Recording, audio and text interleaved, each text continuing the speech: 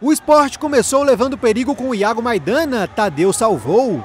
Quando Jonathan Gomes arriscou de fora, Tadeu apareceu mais uma vez. O Goiás tentou a bola na área, mas Vinícius não alcançou.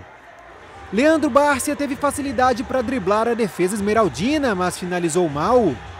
Até que na bola alçada ele buscou lá na linha de fundo e encobriu Tadeu, esporte 1 a 0. O Goiás respondeu com Rafael Moura, Luan Poli defendeu, mas no escanteio Elton mandou contra, foi o empate do Goiás. Só que não demorou para o esporte chegar de novo. Marquinhos cabeceou no canto, sem chance para Tadeu. O time goiano fez uma pressão no final e testou o goleiro do esporte, mas nada de gol. Final 2 a 1 Quanto à pressão, não, absolutamente. Eu sigo fazendo o melhor que, que tem para fazer.